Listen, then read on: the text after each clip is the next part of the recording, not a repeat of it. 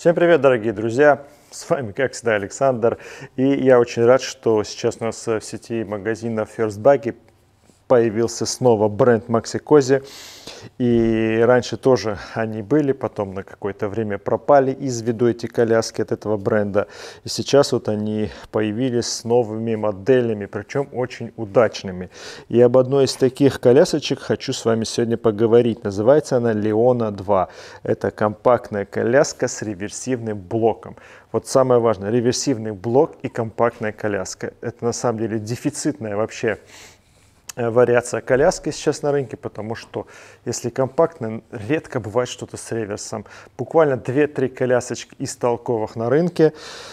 И вот, пожалуйста, Максикози нам дает хороший-хороший вариант. Напомню, Максикози это Нидерланды. Перед обзором базовые технические характеристики гарантию производитель дает 1 год. Вес сидения 9,4 килограмма. Вот это вот именно с прогулочным блоком. Ее можно еще э, в комплект входят адаптеры, чтобы вставить на нее люльку, привычную люльку как мы все привыкли. Ну вот так она весит 9,4. У нее очень хороший показатель 110-170 градусов угол регулировки, углы регулировок э, наклона в этом сидении прогулочном блоке, поэтому показатель очень достойный. И э, она реверсивная, поэтому можно с трех месяцев использовать эту колясочку до 4-5 лет. 22 килограмма выдерживает ребенка. Сама вся конструкция и ширина колесной базы всей, в данном случае спереди колеса чуть шире, э, 47 сантиметров. Да, это очень хороший показатель. Так, что у нас в комплекте? Ну вот, по сути, только адаптеры, чтобы Ория люльку можно было установить. Она так называется у них. Друзья, пойдем сверху вниз изучать.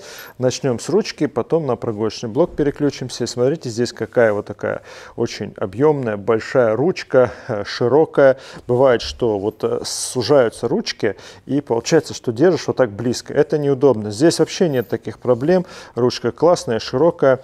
Вот, поэтому с этим все хорошо. Обитая эко-кожей, э, достаточно такой э, приятной на ощупь эко-кожей, строчечка ровная. Ну, все по-взрослому, как иначе максикозе. Она никак не регулируется, ни по какому наклону, ничего с ней нельзя сделать, только для складывания можно вот кнопочку нажимать и все. Вот, собственно, что касается ручки. Точную информацию, кстати, э, Высота ручки от пола и детальные технические характеристики по ссылке внизу в описании. Пройдите, посмотрите. И сразу же, друзья, хочу напомнить, сейчас YouTube начинает душить в России в описании пройдите, подпишитесь на Telegram, на ВК-видео. Дзен, Дзен постольку, поскольку я, может быть, буду выкладывать, но это не основная площадка, где я хочу быть. Вот. Ну и на YouTube, соответственно, я тоже буду продолжать публиковать, несмотря ни на что, потому что самая продуманная, нормальная площадка когда-нибудь все же успокоится. Ну а пока что Telegram, ВК-видео, там стабильно будут все то же самое выходить, друзья. Так, ну продолжим. А, что касается, друзья, ткани. Ткань у Максикози вот из года в год, из поколения в поколение не используют что-то вот подобное. Ткань плотная такая, антивандальная, приятная тактильно. Это не, нет такого, знаете, налета какой-то очень дорогущей ткани, знаете, вот как бывает в премиум, премиум сегменте. Здесь такого нет. Хорошая, приятная ткань. Регулируется у нас по высоте козырек ничего себе, да, вот, и, собственно, под любой рост ребенка можно это все отрегулировать. Вот толкаем вниз, поднимаем вверх, собственно, очень удобно. Что касается самого козырька, вот эта секция, друзья, я уже ее открыл. Это секция, которую можно закрыть на замочек и, собственно, э, не пользоваться, если, если это вам не надо. Также у нас есть вот здесь вот сетка с москиткой, которая прикрыта накидочкой, крепящаяся сюда на магнитиках. Очень удобно. А, смотрите, фишечка Максикози мне всегда нравилась. Это они используют и в автокреслах своих. У вас ремешок сразу всегда поднят, чтобы вам удобно было сюда сажать ребеночка. Это вот фишечка прям очень крутая. Магнитный замочек все здорово. Также у нас, естественно, э, бампер такой же, э, материал обит на бампере, как и на ручке, как кожа в сторонку откидывается, как калиточка все стороны убирается. Бампер то, что надо. Ну, классика, друзья, подножка, как она тут была, а вот, и ступенька. Все классически, понятно и стандартно. Так, а что касается регулировочки. Вот так вот мы наклоняем. Вот так. И давайте посмотрим на козырек коляски э, в полностью разложенном горизонтальном виде. Потому что всегда всем это будет интересно. Вот так получаем. Достаточно хорошо закрывает. Получается, вот, видите, вполне. Накидку на ножки э, одели, и ребенок, как в танке, нормально себя чувствует. Так, давайте сейчас я поставлю ее против хода и посмотрим, как это выглядит все в таком виде. Когда будете использовать, например, с трехмесячным ребенком, обязательно разверните ее к вам лицом, чтобы вы видели ребенка. Но важнее, чтобы ребенок видел вас. Э, врачи, психологи не рекомендуют, чтобы ребенок родить, мир познавал через родителей хотя бы там до 6, грубо говоря, 7 месяцев. Поэтому имейте в виду. Все, развернули и айда гулять. Очень даже прикольно. Так, э, давайте посмотрим с вами на основание что у нас здесь? Что мне нравится? Увеличенный э, диаметр колес, он дает нам спокойную, уверенную прогулочку на неровных поверхностях. И э, колеса мягенькие, с хорошей амортизацией, с передние колеса, соответственно, тоже. И плюс еще на передних колесах у нас есть возможность а, блокировки колес для того, чтобы проезжать какие-то неровности.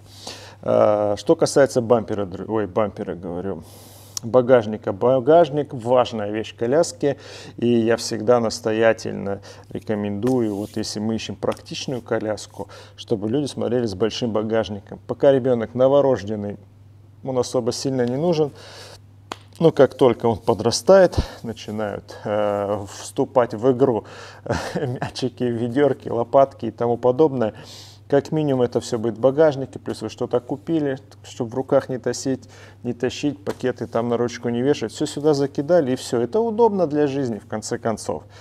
Вот, поэтому багажник тут прям отличный. И тормоз тут очень хороший. Нажали сверху, заблокировали и нажали сверху, разблокировали. Самая практичная система тормоза, мы не портим никаким образом обувь. А сейчас давайте поэкспериментируем, попробуем сложить эту колясочку и против хода, и по ходу, и посмотрим, как это все выглядит. Чтобы ее сложить, соответственно, друзья, нам нужно вот это вперед, в данном случае назад опрокинуть. Нажимаем кнопочку на ручке маленькую снизу и большую спереди. И вот так вот это у нас все складывается. Здесь у нас есть сразу ножки, и все это дело нормально стоит. А, сори. Обязательно э, козырек уменьшаем, чтобы он не пачкался. А то смотрю, я его выдвинул, и он упирается. Вполне себе. Также есть у нас э, ремешок его можно вытянуть, вытянуть по длине и на плечо одеть. Или же можно вот за ручку спокойно переносить. Чтобы разложить все в обратном порядке. Опа. И теперь попробуем сейчас ее развернуть по ходу и посмотрим, как она складывается в таком режиме. Так, опускаем. Ну, собственно, зеркальная ситуация. Вполне себе. Вот, собственно, друзья, вот такая история. Как по мне, то, что она складывается в обе стороны, это очень-очень здорово. И напомню, э, можно купить отдельно люльку, обычную, привычную для нас э, люлечку, чтобы новорожденного ребеночка катать. И при этом у вас какой-то такой ультракомпакт. Э, поэтому такое предложение на рынке очень интересное, когда вы хотите с маленьким как можно раньше начать путешествовать и не брать с собой вот этих больших крокодилов. Мы их называем стационарные коляски. Вот, собственно, и все, друзья. Напоминаю, ссылки все в описании есть. Э, вопросы есть, задавайте, не стесняйтесь. Подписывайтесь на другие соцсети, телеграммы, ВК. И там все это вы сможете продолжать смотреть, если вдруг что-то у нас совсем уж забанят наш прекрасный YouTube. Ну, собственно, вам хорошего выбора. До свидания.